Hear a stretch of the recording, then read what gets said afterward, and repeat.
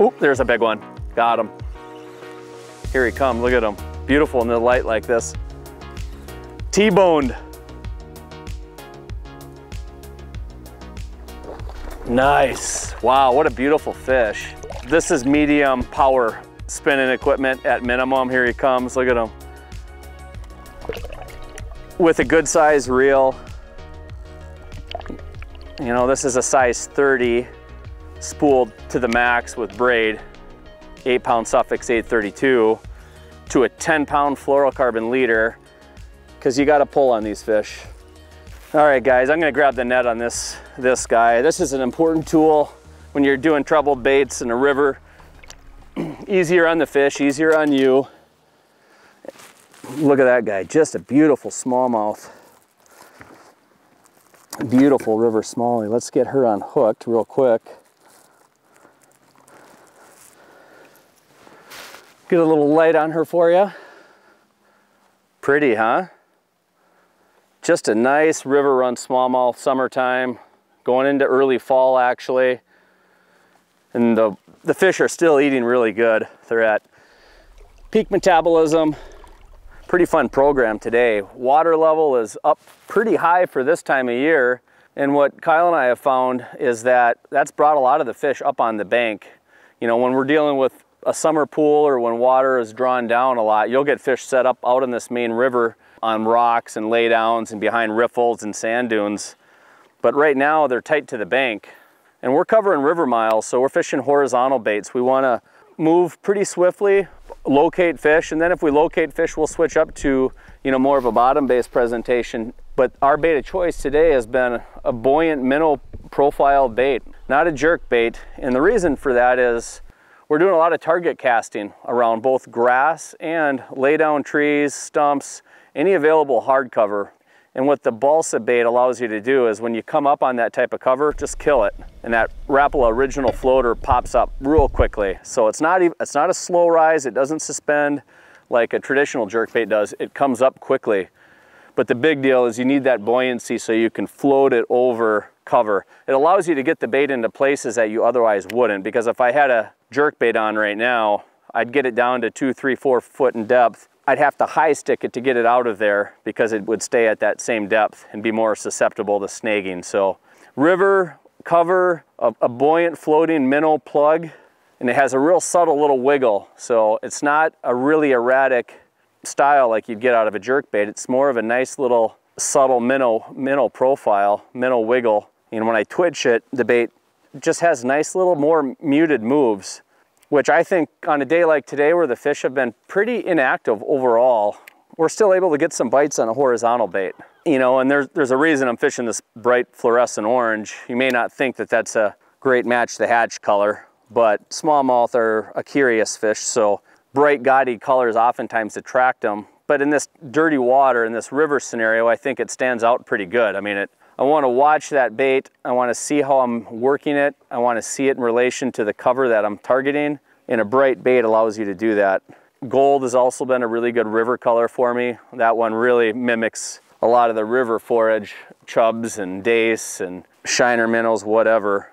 The nice thing too with a, a balsa bait, it's, it's a lighter bait, but the entry is real soft. And a lot of these fish are sitting, you know, two, three, four inches from the shore. So the bait has a real gentle drop in. You don't spook fish that much. And a lot of times you'll have them wake over to the bait. They'll, they'll sense that subtle entry that's not real noisy. It doesn't make a big splash. It's just the right amount. And then they'll come and eat it right on the top. Well, I can probably fish this on bait casting gear. Generally speaking, you're gonna have more success with spinning tackle. Certainly your casting distance is gonna be far better. And I'm fishing this with an eight pound braided main line, again, to enhance casting distance. And then I have a fluorocarbon leader and 10 pound test for both invisibility and then shock absorption as much as anything, just because these are pretty light wire hooks. I definitely prefer a braided main line for casting distance. I'll keep this reel spooled with this same line for two, three, maybe even four years. So from a value standpoint, the braid is awesome. It actually gets better over time.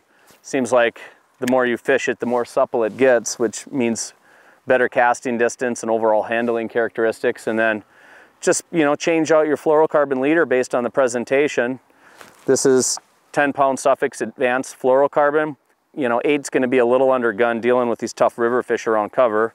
And then a, you know, medium power rod with a little bit of length. This is a seven foot one medium power. Lets you launch that bait out there and then gives you, you know, the fish fighting power you need and then your ability to work that bait effectively. This happens to be 13 Fishing's Omen, just a nice solid rod for the money. Does a lot of different things well. I mean, I'll rig this same rod up with a wacky rig if I think they're on plastics or Kyle's little tiny child setup, which is one of our favorite river finesse setups. We'll link to that in the video description. And not to mention the drag that you get with spinning gear. This is a lighter line tactic, so eight pound braid to a 10 pound fluoro leader, or maybe you're fishing 10 or 15 pound braid to a fluorocarbon leader. It's still light line, so you can't go wrong having a, a quality reel that gives you the smooth drag that only a spinning reel can provide. What I like too on that braid as I'm fishing that bait right now, again, I, I, like the positive feedback I get from a fluorescent lure. Look at that. Like I'm watching it, so it's real cause and effect for me. But with braid, I don't need to move that rod tip too much to impart action on that bait. Same thing on a hook set. All I basically do is reel down and then the kind of load up on the rod and that drives those hooks home no problem. Ooh, there, there's one. Nice. Spot lock. I like seeing that fluorescent come up from the depths.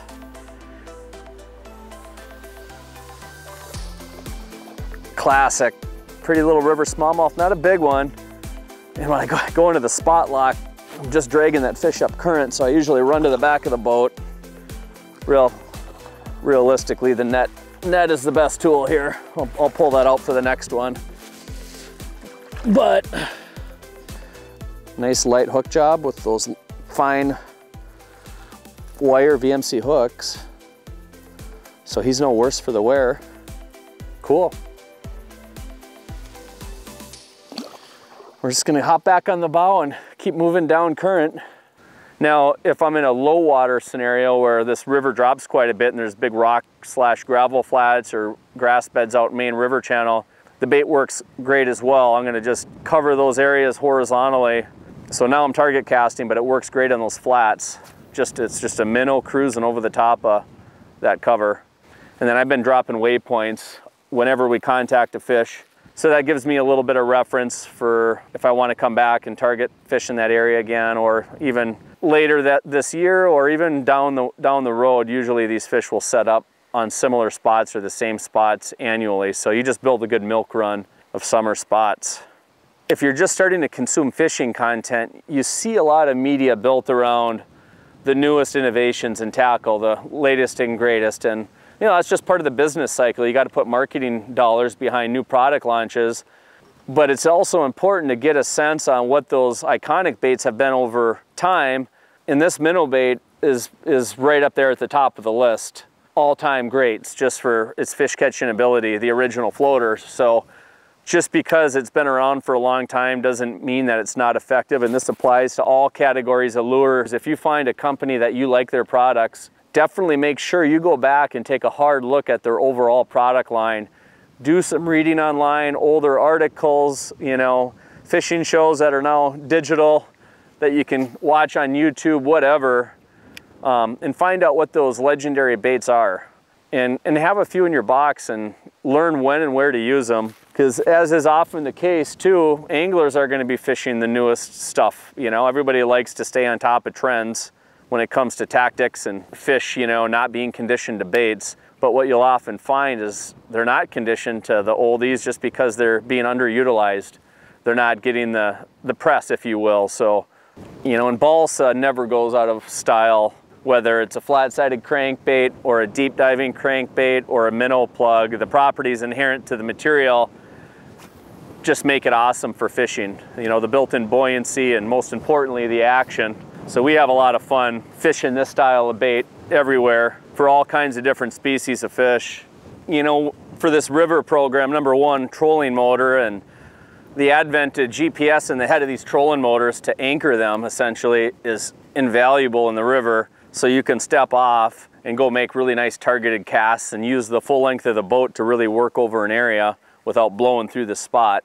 So you can see right now I'm spot locked. The boat's totally anchored in place. The water flow really, really locks it. I'm not moving even an inch as I look at the shore right now. So that's a huge tool. And as far as electronics, this isn't a huge electronics game because today we're casting the bank, but that doesn't mean I don't like knowing what the bottom composition is, especially with smallmouth. When I get in those hard bottom areas, those seem to be the most productive. So I'm constantly looking at my 360 imaging to get a sense on what the bottom is. And right now, if you would take a look at it, you'll see there's nice fist-sized rocks, baseball-sized rocks, and a few bigger scattered boulders around. So I know I'm in a good zone. You know, smallmouth like eating crayfish. You're gonna have crayfish in these areas. It's gonna be a little bit cooler water. They're just overall productive zones for what we're doing here today. So the 360 imaging is nice. I can make quick casts based on what I see on the bottom. So if I look down and I see a big boulder out here at one o'clock, I'll make that cast. Maybe I'll get bit, maybe not, but over the course of a day, you end up making more high percentage casts than if you don't have it. And no mapping out here. So essentially I'm using the 360 imaging as my map, literally of what's around the boat at any given time. When I'm spot locked with 360 too, the, the nice thing is the boat's not moving. So that picture stays real consistent. Those rocks remain in the same place. There's my the edge of the actual river bank. So I, I can make just real, real accurate casts to specific areas. River fish do move quite a bit, so it's just good to have those waypoints as reference and over time and over the seasons and based on water level, you start to get a better sense on you know where fish are gonna be. And then being able to link that to, okay, what's the bottom look like? Clearly I can see what's with my eyes above water, the type of cover on the bank, but the 360 gives you that underwater view really clearly as to what's on the bottom. One quick rigging tip when you're fishing a delicate or kind of a subtle minnow plug like this, particularly balsa, this thing has a nice subtle wiggle, but if I tie my knot direct, that can kind of impede the action, especially with heavier lines. So you wanna do one of two things. You wanna use either a loop knot tied to this eye, or you wanna use a snap. Now both work fine. I prefer a snap for two different reasons. Number one is my line to the snap connection is gonna be a stronger knot than what that loop knot's gonna be. I'm always gonna wanna use the best knot I can.